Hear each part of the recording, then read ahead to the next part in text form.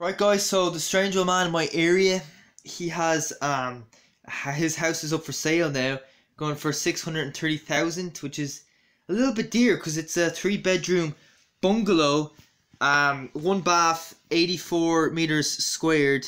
Um, you know, it's expensive area, but still, I don't think it's worth that much because there's like bigger houses than that for sale on this uh, daft.ie um, going for like less than that, going for like 500,000, 550,000. So I'm going to try to show you the, um, yeah, that's the house. That's the area the strange old man my area grew up in. He's a bit, I, I made a video about this guy before. He, um, you know, he, one day I was out running and he ran outside his house and started staring at me as if he'd just seen a ghost. Alright, I mentioned that before. Uh, now he seems to put a lot of effort into this. Um, you know, he um, he seems to have taken 37 photographs and that is that is a lot. Okay as you can see there this is the upstairs area of the house. Um i used to always think this house was just a one story like bungalow but no it has two stories uh, which is kind of surprising. Um and yeah you know the house does look uh, quite nice. Um you know i don't know why he's selling the house. I don't know where he's going his name is paul w paul w um, I don't. Well, obviously W is not his surname. I think his surname starts with W, but he's not going to put his whole surname in because in case I see his surname, I might like look him up on Facebook and try to uh, harass him because you know uh, I did I did take I did film his house once. I did um make, making a video about him. I used to laugh at him every time he walked past me on the streets because I used to thought he was very strange for that incident where he ran outside his house and started staring at me as if he saw a ghost when I was running up that hill that he lives on. Because I live like a three minute walk away from. Well, I used to live a three minute walk away from there. Uh, another good um image of his house there. Uh, so yeah, if you're thinking about buying this from this guy, just remember he's a bit he's a bit odd. just just keep that in mind. So uh, yeah. Uh, nice looking house. I'm trying. I'm looking through more photographs. I want to try to show you. Um, oh, that looks nice. You know, yeah, it does. Really surprised that it was. Again, I mentioned this before, but I'm gonna repeat myself. Uh, it does look like a one-story house from the outside. Um, I knew this guy's name was Paul because I heard him talking to a construction worker who came in to do a job for him, and he referred to him as Paul. So Paul W. What does that stand for? His email and phone number is on this website, and maybe a few years ago I might have um sent him an email or something uh calling him a weirdo but no I think at my age of 24 I'm like nah that's too far. Just don't do that you know? Um show some yeah you got a very nice view um from this house uh as you can see you know? Uh it's on top of like a hill so you can kind of see like Killiney Hill Howth in the distance uh Howth being further away than Killiney Hill of course because this is that is Cabinteely, you know, it's on the south side. So it's not too far from Killiney Hill. I used to go running. I used to run from my house over to Killiney Hill. I think it's only just over three miles away, so it's not too far. Killiney Hill. Um, I feel like Cabinteely is more quiet than most of the Dublin suburbs. Uh, it's a little bit further out than most Dublin suburbs, to be fair.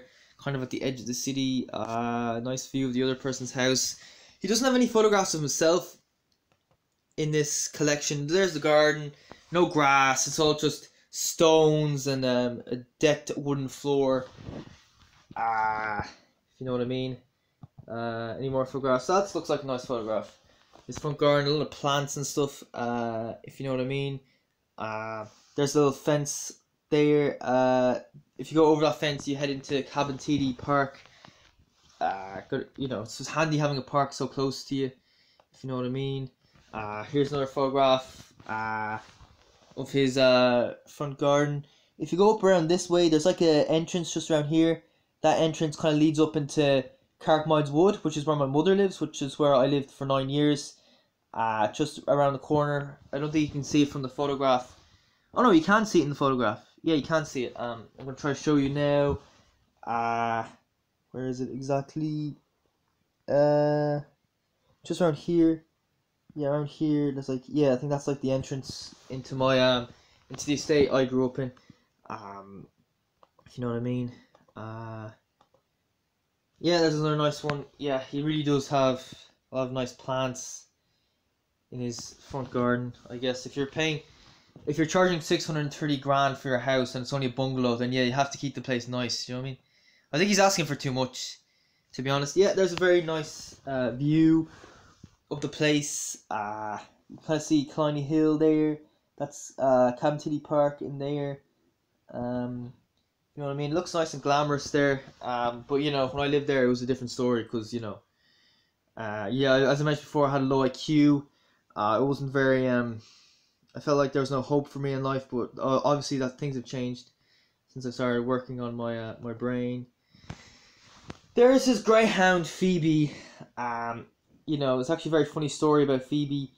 Um, you know, when I was new to the area at sixteen uh, I was just walking down the uh, uh, the hill into this guy's estate, and um, his he he let Great Phoebe the greyhound run off the lead, and Phoebe kind of ran up towards me, and then Paul W.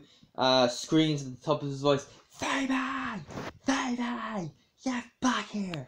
And I'm like, geez, look, if you're gonna let the dog off the lead, he's gonna do this kind of stuff. If you don't want your dog running up to people, then keep the dog on the lead. Okay? Um, it's as simple as that. Really, really is. Um,